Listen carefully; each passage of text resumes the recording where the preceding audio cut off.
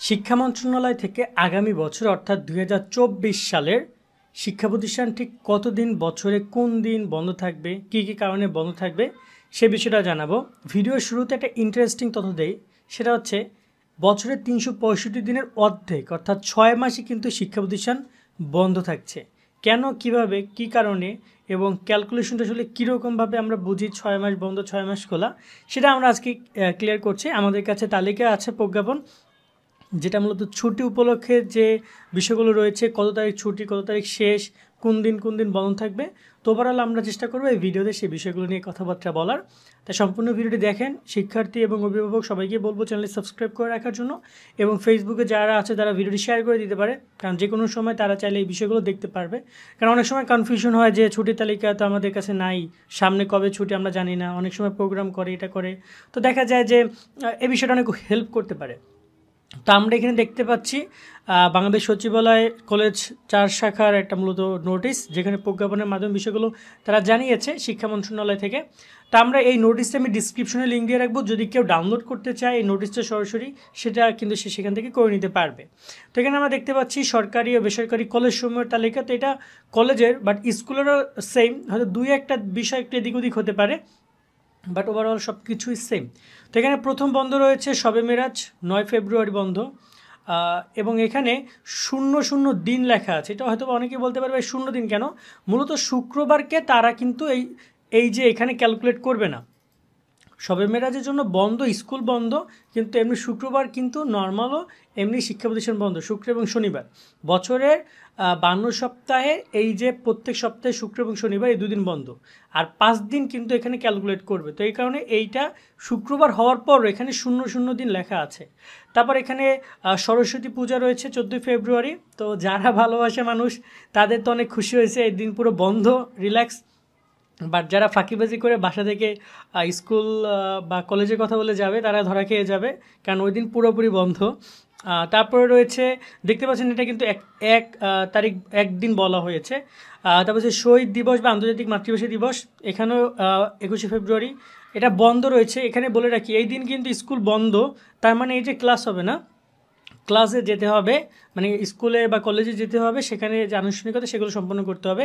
মাঘী পূর্ণিমা, এটা তেইশ ফেব্রুয়ারি শুক্রবার পড়েছে বাট এটা নর্মালি ক্যালকুলেট করে নেয়, কিন্তু এমনিতে বন্ধ থাকবে।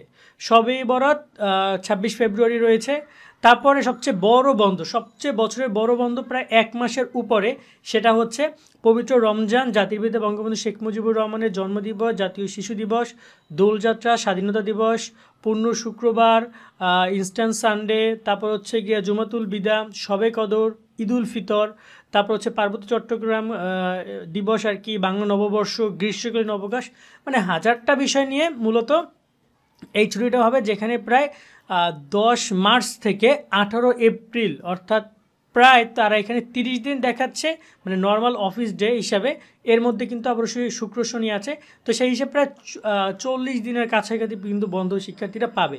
চল্লিশ দিন বা আটত্রিশ দিন মানে এক মাস আট দশ দিনের মতো বন্ধ শিক্ষার্থী এখানে পাবে। সো এটা সবচেয়ে বড় বন্ধ ক্যালেন্ডারের।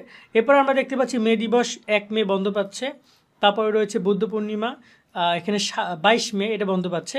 এরপরে চলে আসছে ঈদুল ঈদুল আজহা, পবিত্র ঈদুল আজহা মানে কোরবানির বন্ধ, যেটা তেইশ জুন শুরু হবে, তেইশ সরি তেরো জুন শুরু হবে, তেইশ জুন শেষ হবে। অর্থাৎ এখানে সাত দিন বন্ধ দিচ্ছে বাট নর্মালি দশ দিন থেকে এগারো দিন বন্ধ থাকবে, কারণ এখানে শুক্র, শনিবার আছে।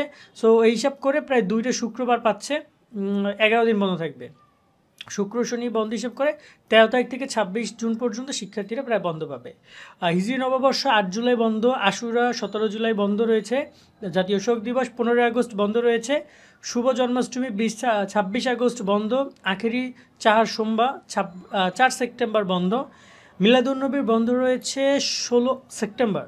তারপর রয়েছে দুর্গাপূজা এবং লক্ষ্মী পূজা আরও কয়েকটা বিষয় মিলিয়ে এখানে হিন্দুদের জন্য, হিন্দু ধর্মাবলম্বী যারা রয়েছে, তাদের জন্য বড় বন্ধ যে আট নয় অক্টোবর থেকে একদম সতেরো অক্টোবর এখানে প্রায় সাত দিন বন্ধ রয়েছে। অর্থাৎ এর মাঝখানে শুক্র, শনিবারও কিন্তু রয়েছে। সো সেই হিসেব করে প্রায় নয় অক্টোবর থেকে সতেরো তারিখ পর্যন্ত বন্ধ। তারপরে শ্যাম পূজার জন্য একত্রিশ অক্টোবর বন্ধ, বিজয় দিবসের জন্য এখানে ষোলো ডিসেম্বর বন্ধ।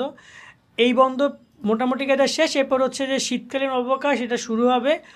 মূলত বলতে পারো যে শীতকালীন অবকাশ যীশু খ্রিস্টের জন্মদিন এসব মিলে সতেরো আগস্ট থেকে একত্রিশ ডিসেম্বর পর্যন্ত বন্ধ সরি সতেরো ডিসেম্বর থেকে একত্রিশ ডিসেম্বর পর্যন্ত বন্ধ। তো নর্মালি এই যে বিজয় দিবস থেকে শুরু করে, ষোলো ডিসেম্বর থেকে শুরু করে একত্রিশ ডিসেম্বর পর্যন্ত বন্ধ। আর প্রতিষ্ঠান প্রধান, অর্থাৎ যে কলেজের যিনি অধ্যক্ষ আছে বা প্রতিষ্ঠান প্রধান শিক্ষক, সে চাইলে নিজের সুবিধা মতো তিন দিন ছুটি দিতে পারবে, অর্থাৎ সংরক্ষিত ছুটি তিন দিন। তো এখানে আমরা দেখতে পাচ্ছি সর্বশেষ টোটাল একাত্তর দিন বন্ধ পাচ্ছে শিক্ষার্থীরা। অবশ্যই কিন্তু শুক্র, শনিবার কিন্তু এই একাত্তর দিনের মধ্যে নাই। কারণ আমরা যদি নোটিস করি এখানে কিন্তু শুক্রবার ছিল কিন্তু এখানে জিরো জিরো দিয়েছে এখানে শুক্রবার ছিল জিরো জিরো দিয়েছে।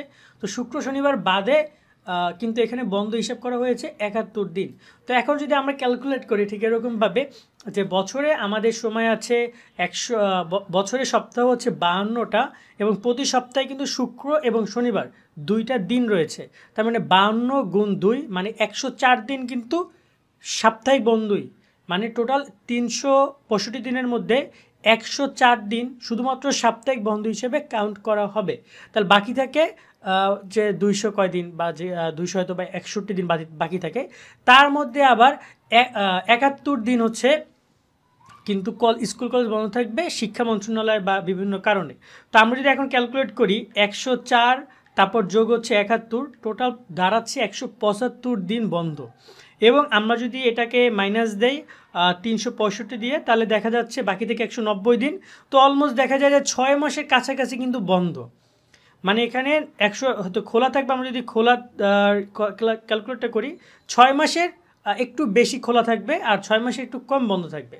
তো আশা করা যাচ্ছে শিক্ষার্থীরা বুঝতে পেরেছে এই বন্ধগুলো এবং চাইলে ডাউনলোড করে নিতে পারবে। আর অবশ্যই বন্ধ দিয়েছে, তার মানে এই না যে পড়াশোনাও লাটে গেছে।